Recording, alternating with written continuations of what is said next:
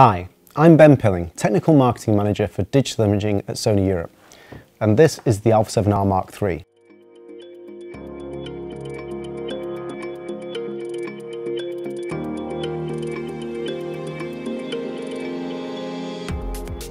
It's the latest camera in our Alpha lineup. It features a 42.4 megapixel full-frame Exmor-R sensor and an evolved Bionz X processor, it can shoot up to 10 frames per second with full autofocus and auto exposure, either with the silent shutter or the mechanical shutter. It has a fast hybrid autofocus system featuring 399 phase detection points, covering around about 68% of the image sensor, and 425 contrast detection points.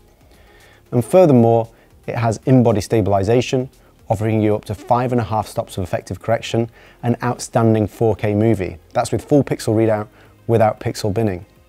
All of these features are added to with great operability, which is inherited partly from the Alpha 9 to deliver a great addition to our lineup.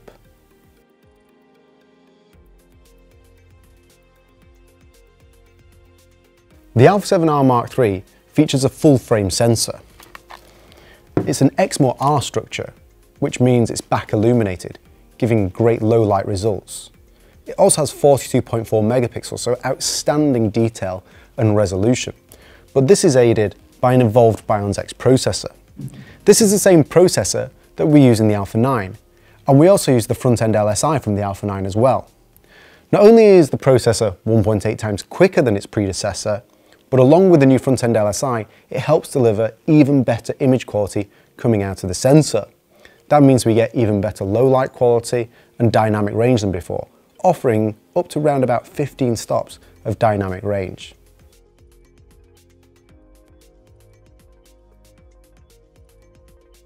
The Alpha 7R Mark III can shoot up to 10 frames per second, and that's either with the newly developed low vibration mechanical shutter or in silent shooting.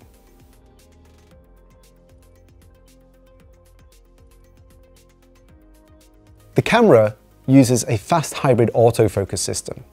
This combines phase detection autofocus with contrast detection autofocus. There are 399 phase detection autofocus points built into the image sensor and these are very good at autofocusing quickly and tracking moving subjects. It also has 425 contrast detection autofocus points, covering a wide area of the frame as well. Contrast detection is very accurate. These two types of focus can combine to give great results with the Alpha 7R Mark III. Add on to that, we have the eye autofocus function, which has been very popular with our cameras, but compared to the predecessor, it tracks about twice as well with the Alpha 7R Mark III. Furthermore, for low light autofocus, the camera can now focus down to EV-3.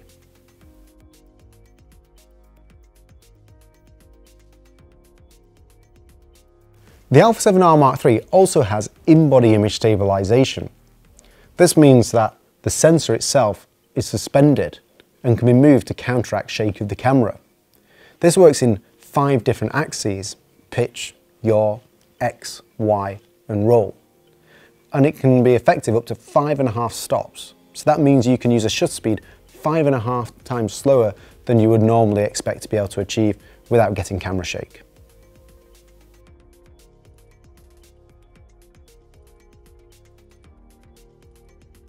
The Alpha 7R Mark III also features 4K movie recording. It can do this with the full frame or in APS-C or Super 35mm mode. If you're shooting in the APS-C or so-called Super 35mm mode, it does full pixel readout without pixel binning. That means it takes information from every single pixel it's using and combines them together to make that 4K image. It's effectively oversampling on the sensor to give really detailed 4K output. In addition to that, it also has hybrid log gamma or HLG. This means that you can record footage in camera that can be output on a 4K screen instantaneously in 4K HDR rather than having to post-process and color grade your footage to give a HDR result. Furthermore, the Alpha 7R Mark III features advanced video features you might be familiar with from our cameras. So it has picture profiles, S-Log2 and S-Log3, as well as slow motion option on there as well.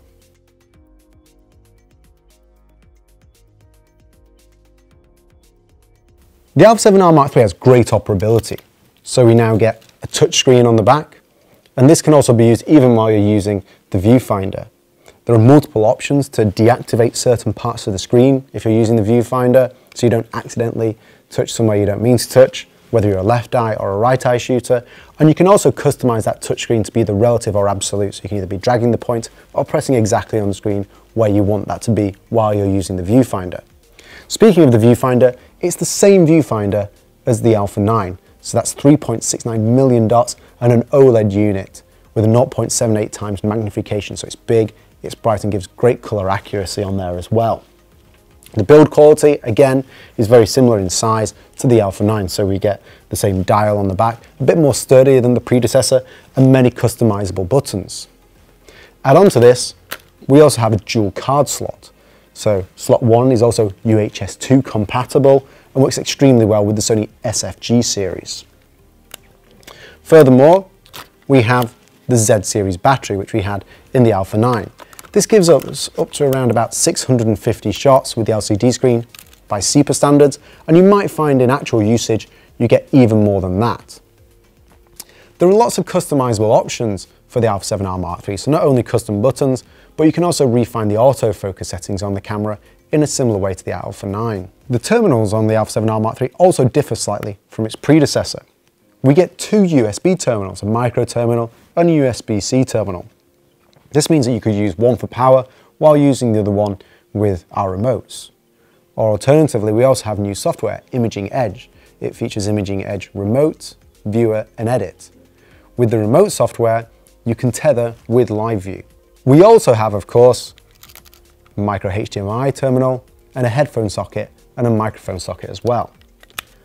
But what's new in comparison to the predecessor is a sync socket for Studio Flash. And again, that could potentially be used up to 10 frames per second for really creative results.